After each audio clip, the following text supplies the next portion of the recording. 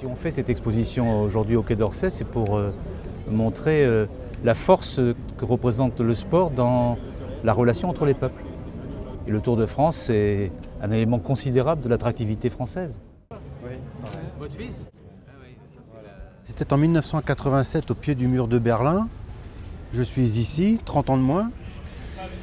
Et euh, à l'occasion du grand départ du Tour de France, donc 1987, euh, en Allemagne. Et là, nous étions au pied du mur, nous attendions le départ avec, euh, avec les collègues coureurs.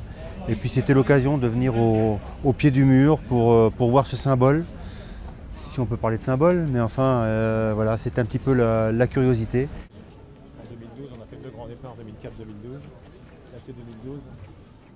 Le Tour de France, c'est du sport, bien sûr, mais c'est bien plus que ça. C'est de la culture, c'est de l'histoire, c'est de la géographie, c'est de la découverte, et c'est aussi du lien entre les peuples, entre les peuples du monde entier, mais évidemment d'abord de l'Europe.